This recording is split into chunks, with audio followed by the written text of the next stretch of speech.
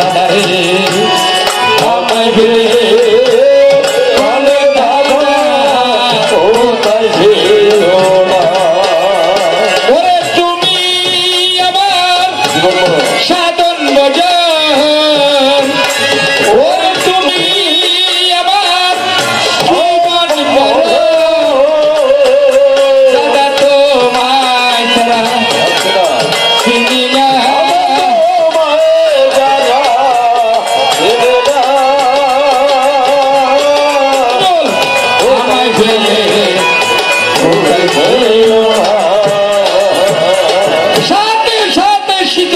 এসেছে বলে প্রভু, তুমি আমার সাধন তুমি আমার ভজন, তুমি আমার জীবন, তুমি আমার মন সতীর ধর্ম, সতীর সেবা।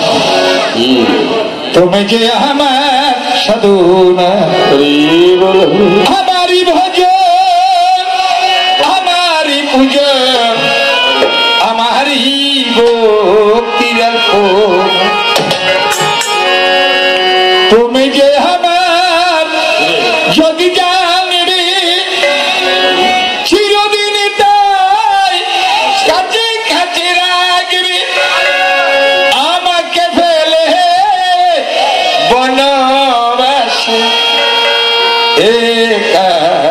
যেও না তুমি যে আমার সাধন আমি বলেছিলাম শিখে তোমার কোমল পা ঠোঁটে কত কাটা আছে কত জঙ্গল আছে সব পার হতে হবে। বলে প্রভু তুমি যদি পারো আমি কেন পারব না? আমি তোমার সেবার দাসী। তোমার যখন পা ব্যথা হবে, আমি মালিশ করে দিলে তোমার পায়ের ব্যথা দূরে সরে যাবে। আমিও যাব। ওরে তিনজনে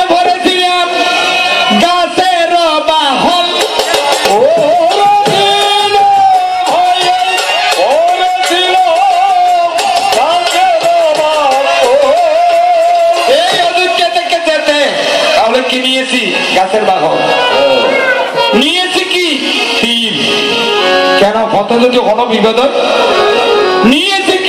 অক্ষয় তুল। কেন বিপদের মধ্যে বান মারতে হবে তো? কোন শত্রু যদি করে তাহলে তীর ধনু ধরনা গাছের বাহন। আর কিছু নিয়েছিলাম অযোধ্যার মাটি। কেন? এটা আমার জন্মভূমি। জননী জন্মভূমির চেয়ে সঙ্গে আদপই করিয়েছি। এ নিয়েছি অযোধ্যার মাটি। অযোধ্যার কথা মনে পড়লে, এ মাটি গুলে, আমি সর্বঙ্গে মাটি। কেন মাটি দিয়ে তোমার দেহের গঠন? কি অভ্যাস আমার উদ্ভবে তাই অযোধ্যার মাটি নিলাম তীর ধনু নিলাম? বাবা তো মারা গেছে। বনের মধ্যে গিয়ে তো বাবার জন্য কিছু তো করতে হবে। কারণ আমি কি? বড় পুত্র দশরথের। খাদ্যের অধিকারী কে? বড় ছেলে। বড় ছেলে না? বড় ছেলে না ছোট। ছেলে। যাওয়ার সময় লক্ষণকে বলেছিলাম লক্ষণ অযোধ্যের মাটি তো নিয়েছি। কিছু আরও নিতে হবে। বলে কি? ওরে তিল তুলসী সঙ্গে লজিও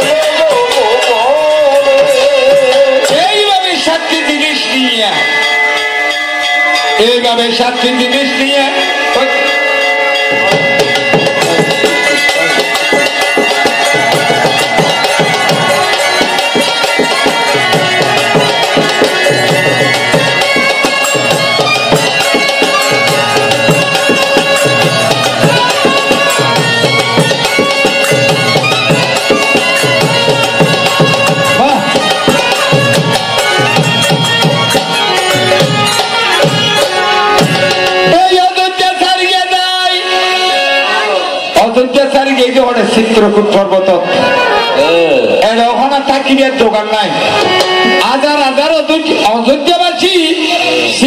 পর্বত যায়, আর বেড়াই করি ভাষায় বেড়াই করি অবশেষে বরত শুনিয়া বরত ছিল মামার বাড়ি। ভরত সেখান থেকে এসে ক্যাকুইকে কাটতে গেছে। তুই মা! নয়, তুই রাক্ষসী কেমন করে আমার ভগবানের মতো ভাইকে তুই বনবাসী দিয়েছিস কেটে কৌশল্যা সৌমিত্রা ভরতকে রাখিল আটকায়। অবশেষে ভরত আইলো আমার কাছে তোমাকে শুনে আমি মনে মনে চিন্তা করছি এডে যদি তাকি আর বনবাসে তো নয় তারা আই আই আর বিরক্ত করিবি। তাহলে ভাই রঙ্গের শত্রু তার বাড়ি যদিও ভাই এখন নয় ভরতে যখন ধরে খাবে দাদা, চলো ফিরে। তখন ভরত আমাকে বলে, আমি বলেছিলাম, আর সম্ভব নয় চোদ্দ বৎসর কথা হতো ভরত বলে, দাদা, আমি কি নিয়ে যাব? আমার যাইতে মনে নাই চাই দুইটা ভাদুকা কুলিয়ে দিলাম। ভরত লইল মাথায়।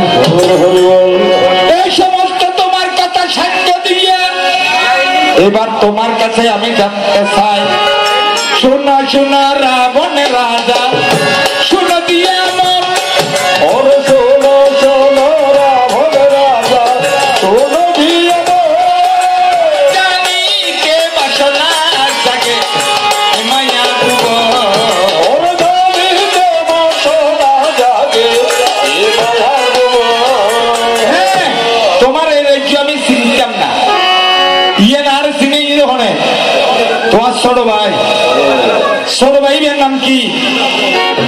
বিভীষণ।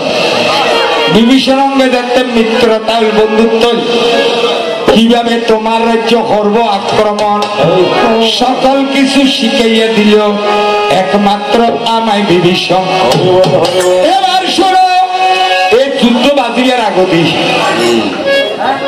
আর হয় একদিন যুদ্ধ করি বেলায়। হয় একদিন যুদ্ধ করিবার পরে বিভীষণ হতে প্রভু এই রাবণের ওখানে জয় করেন সম্ভব লঙ্কার মধ্যে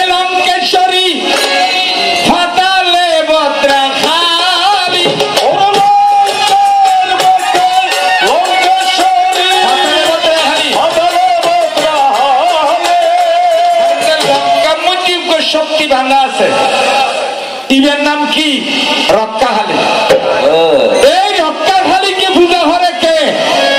বুকে রক্ত দিয়া রাবণের পূজা করে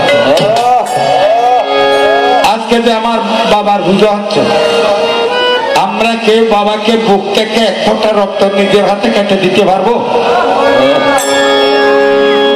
কেউ কেটে দিতে পারব? তাহলে আমাদের পূজা হবে সেই বলে, পূজা পূজা পূজা। পূজা নহে সোজা। পূজার অর্থ বুঝাবার পূজাই পারলে পূজার সার্থকতা নাই রে তার। তোমাকে একটা উদাহরণ দিতে হচ্ছে। অর্জুন একদিন ভগবান কৃষ্ণের কাছে অহংকার করছিল। হজ ভগবান তোরাই কি নতুন? হজ কেন কি দিও? হজে তোরাই পানি দি ফল দি পত্র দি ফুল দি গীতা টুকু শ্লোক আছে দাদা, তোয়াং জলম তোয়াং ফলম তোয়াং পত্র, তোয়াং পুষ্পম ভগবান কৃষ্ণ হজর ভাই কি তোর তোয়াং তোর জল, তোর ফল তোর ফুল তোর পত্র না তোয়াং জলম তোয়াং ফলম তোয়াং পত্র তোয়াং পুষ্পম তো তুমি হদে হার। হদে চাই গাছগুলো মধ্যে ফল ধরাতো হদ বাজে আইতে পারতেন না সাহিত্য পোড়া মানে সৃষ্টি করতো। হদি আনতে পারতেন না তাহলে তুলসী পাতাও দাঁড়াতো হদি কিনতে পারতেন না তার দিও হতে? হদা এটা উঠতে যে দিচ্ছে। তুই তো কিছু দেয় না। হদ বাজে আর তো কিছু নেই।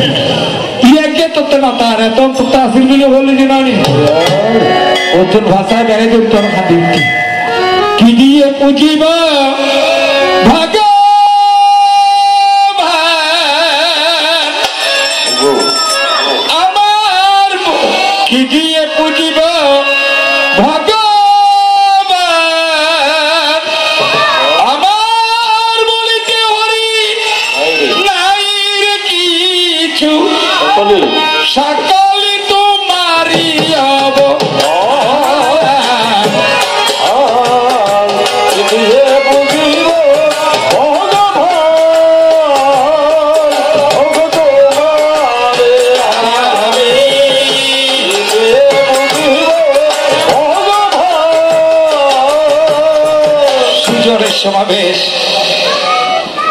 মায়েরা প্রত্যেকদিন লক্ষ্মী পূজা করে।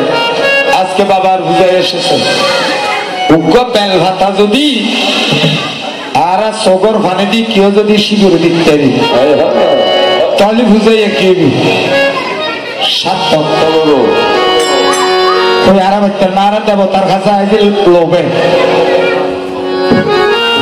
আসলে তারা আইসে লোভে নাই হায় হায়। এনে কিয় কইম যা ভগবান। আর গোবর কামালা সর দিও। কিয় যার মাইয়া বিছানত বিয়ে নগান করো হ্যাঁ। কেউ তার স্বামীর অসুখ স্বামী সুস্থ করে দিও। আমরা সত্য ছাড়া কেউ দেবতার বাড়িতে যাই না। হ্যাঁ। তোমার কাছে জানতে চাই এ বিভীষণ হতে প্রভু আর দাদার যদি পরাজয় গরম করে লঙ্কা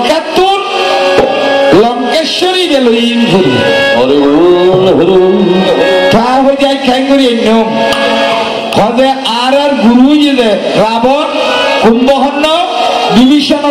যখন সৃষ্টিকর্তা ব্রহ্মা। ওরে ব্রহ্মার কাছে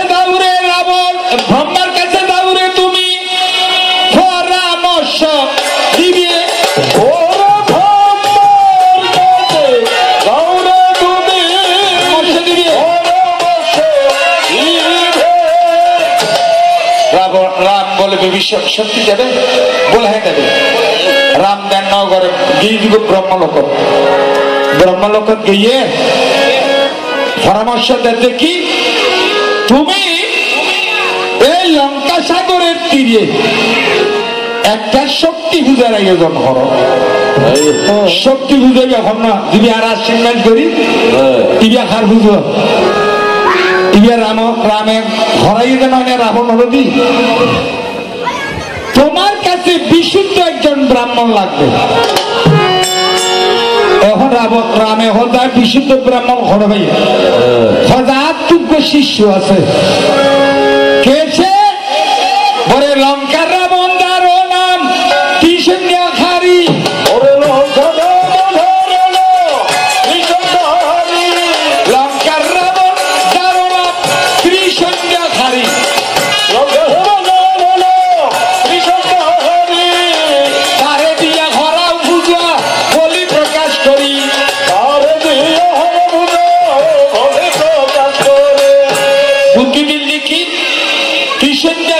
ব্রাহ্মণ লাগিবে তো ব্রাহ্মণ দেখা দিয়ে খারে একমাত্র রাবণর আরে সমত রামে হজ মুখিকে রঙে না রঙে যুদ্ধ। আই আজ যুদ্ধ তিন মাস করি গেলায় কি গেলায় শীতের উদ্ধার করি গেলায় এখন ইতি যদি আর ভাই মারি না। ব্রহ্মায় হজায় ব্যবস্থা করে দিই ব্রহ্মায় দিয়ে হব রাবণ আসছি এ রাবণ যাও লঙ্কা সাগরের তীরে। রঘুপতি রাগ আহ, তুমি তার দুর্গা পূজা করো। মাটি দিয়ে প্রতিমা বানিয়েছে কে? হনুমান। বানিয়েছে কি? মাটির প্রতিমা। দশ হস্ত প্রসারিণী জগত জননী জগদম্বা পূজার জন্য শুধু অপেক্ষায়ও আছে। আগামী শুক্লপক্ষের সপ্তমী তিথিতে পূজার আয়োজন হবে। তোমাকে পূজা করতে হবে। হজনে হতো দেন আর তোরা মেন হজায় তোর গুরু আয়া তুই। রাম রামর কাছে শি হনে রাবণ ইয়ে নিদনি দিতে জয়, রামের জয়। দনি দিতে হনে রাবণে জয়, রামের জয়। রাম বাবা তুমি কে বাবা? বলে, আমি ব্রাহ্মণ, ব্রহ্মার আদেশে তোমার কাছে এসেছি। রাবণ বলি না হোক হতে কি? আমি ব্রাহ্মণ। বলে ঠাকুর তুমি আবার পুজো করবে? বলে হ্যাঁ করব। তো পুজো করতে কি কি লাগবে? সমস্ত বিধি বিধান তুমি দিয়েছ তাহারে। পূজার বিজ্ঞান দিয়ে ওখানে রাবণে? খজুকা খলাবো বানান করিব। খলাবো এমনি তো নোয়ান জিনিস না আমি। তাকে বলা নবভত্রীকে অশোক জয়ন্তী দারিন্দ যুগবেল দান্য গোসা মান হসু খলা গাছ হরিদ্বার ডুবো নয়টা বস্তু দিয়ে একটা বউ বানাতে হবে। আর সাথে এবার খোঁজো খলাবো। সন্ধিকের মধ্যে হচ্ছে নববত্রীকে আর মধ্যে হচ্ছে দেবী সব ফন্দিকে কতে কি? নবপত্রিকা প্রবেশ। সপ্তমী বিহিত পুজো আরম্ভ। এখন আয় নবতিথি তোমার জিজ্ঞেছি তোমার তাই বুঝা করা তুই আর বুঝা যাতে করছি তুই তো ভর্তি আর তোমার বিজ্ঞান পর জিজ্ঞেস করি। জিজ্ঞেছি হলাবো বড় না প্রতিমা বড়? হতে কি? নব পত্রিকা প্রবেশ, সপ্তমী বিহিত পুজো আরম্ভ। বেতন হলাবো যে নডু কবি এতন হন দুর্গা পুজো কর্তৃত্ব হোমা একটা টিয়া খরচ করি প্রতিমা বানায়। একটা খরচ না হজা দেরি অন্য তো খরচ আছে। অনুমানে বানাই বিলি, আর ধরো মানুষ বানাই বিলে খরচ না হজ দেরি। এখন তো বানাইতে গেলে বহুত টিয়া খরচ। হান- আ- আর যি হলে অশোক অপরাধিকা জয়ন্তী দারিদ্র হদলিবিক্য হরুদ্রিয়া ডুব মান হসু এ সমস্ত আমরা এমনি খুঁজে পাই জানিলে একটু হরে দিয়ে রে বুঝাই হলাবো কেন এত বড় হইল মাটির প্রতিমার আগে যায় ওরে যদি তো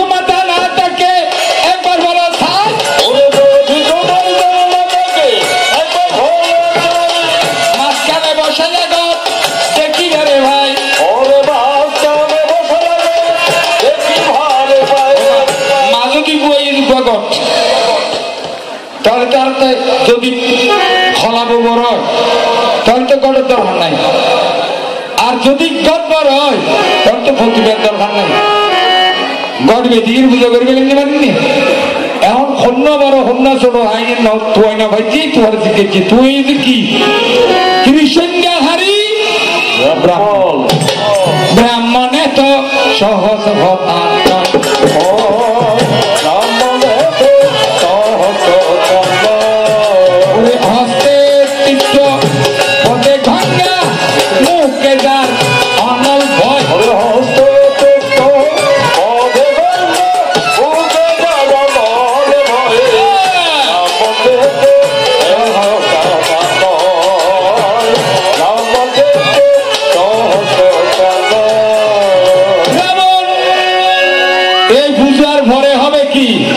তোমার মরণ। এখন যদি সোজা হতে আমার শিক্ষা দিয়ে দাও, তাহলে তাই কিছু কেন বাঁচিয়ে তোমার এক লক্ষ পুত্র আর সোয়া লক্ষ নাতি। আর যদি যুদ্ধে দাও, একজন নাতা কিনে বংশে দিতে যদি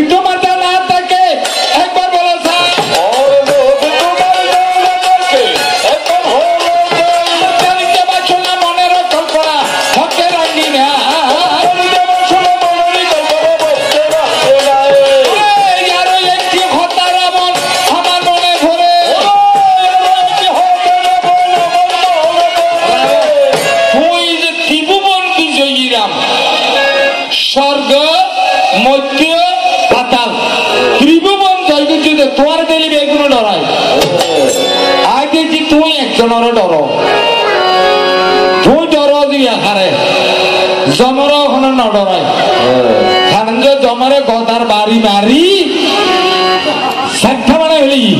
তারপর অঞ্জরাই দি মরণ পানি বি আনি আনিয়ে মন্দ দরিয়া কাছে জমা দেখি তাহলে বুঝা যাচ্ছে জমরা ন কিন্তু আজ আপনাদের যে একটা ডরাই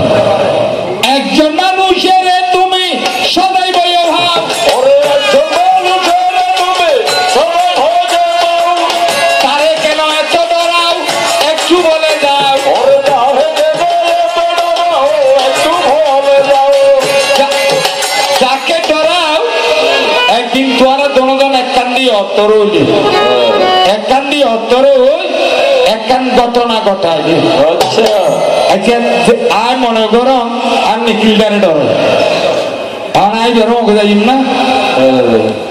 ইয়া জিবিয়ারে ডরাই বেরো ওকে যাই। কোনোজন একটা নেন হাত বুঝছে যে। ইয়া হন হবিয়ার মতো কি ব্যাপার